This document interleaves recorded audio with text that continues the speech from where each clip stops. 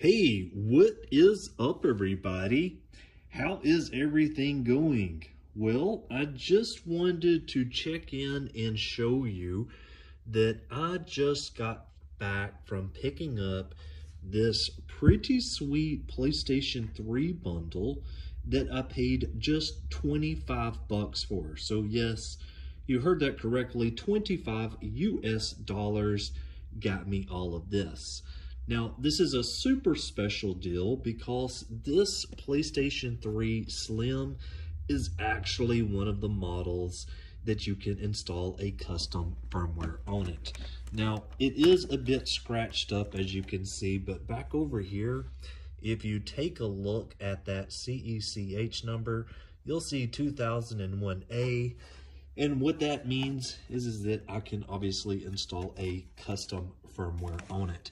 Now I have a 3000 model that you know will not allow a custom firmware, but I'm super glad that this one will allow that because I wanted to have a second system just kind of in case of a backup, you know, in case I wanted another Slim. So now I've got two Slims that can run the custom firmware.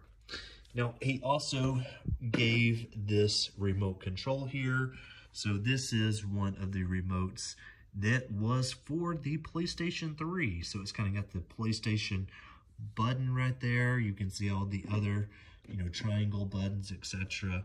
Um, I already had this remote, and so it's just nice to have another one, you know, just kind of like setting around. I don't really know what I would do with it outside of just kind of keep it as like maybe a little collector's piece. Then he had a copy of The Last of Us. Uh, everything looks pretty good in this one. You know, it's got, you know, it's the paperwork and so forth. I haven't looked at the disc quality, but I've got a number of copies of that game. So I'll probably eventually, you know, put it on offer up or something for 10 bucks just to kind of get rid of it because I absolutely don't need it. It did come with the cable here. So uh, this is for charging the controller. And I was pleasantly surprised that this is actually an OEM controller. So this one isn't a knockoff uh, PlayStation 3 controller, which means it's obviously going to be worth a bit more. And, you know, it's dirty, just like the console itself, but nothing that I can't kind of clean up. Um, I have tested the controller as well as the unit, and it works just fine. Now, the last thing that was included in this was some of the papers that originally came with the system. So there's kind of like this quick start here.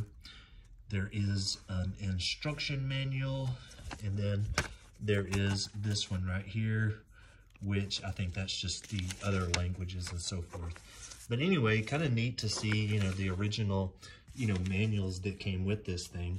Uh, even though these, you know, don't really have any value whatsoever. So anyway, 25 US dollars. And yes, I will be keeping this for a very long time because this one is a custom firmware compatible model. So anyway, thanks for watching and I'll see you on the next one. Bye-bye.